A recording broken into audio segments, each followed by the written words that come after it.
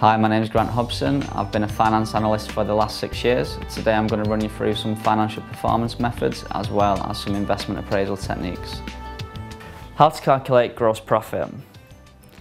Gross profit is simply a company's revenue minus its cost of goods sold. It's the residual profit after selling a product or service and deducting all the costs associated with this production and sale. Gross profit is very important because it indicates how efficiently management have used the labour and the supplies in the production process. And then it's used to calculate the gross profit margin. For example, if we look at the company here, they've generated a revenue of £2,000 in the year.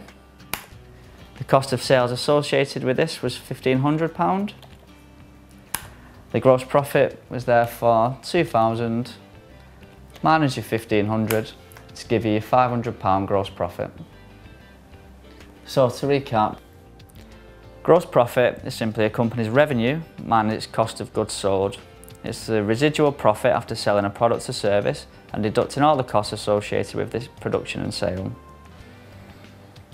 Gross profit is very important because it indicates how efficiently management have used the labour and the supplies in the production process. And then it's used to calculate the gross profit margin.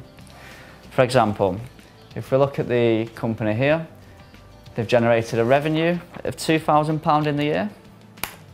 The cost of sales associated with this was £1,500. The gross profit was therefore 2000 minus your 1500 to give you £500 gross profit. So to recap, if we look at the company here, they've generated a revenue of £2,000 in the year. The cost of sales associated with this was £1,500.